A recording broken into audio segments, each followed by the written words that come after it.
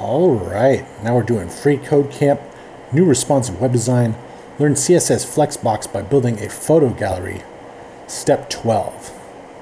So Flexbox has a main and cross axis. The main axis, pardon me, the main axis is defined by the flex direction property, which has four possible values.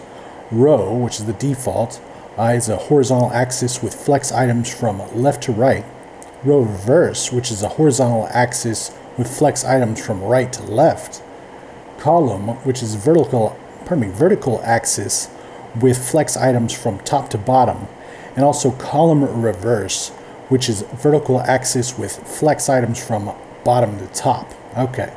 So we're going to note that the axes and directions will be different depending on the text direction. The values shown are for a left to right text direction. Okay. So now we're going to try the different values to see how they affect the layout. Uh, when we are done, we're going to set an explicit flex direction of row on the gallery element. That's the default. It's not going to do anything, huh? All right, so uh, flex direction row. And didn't do anything. All right, so let's check it.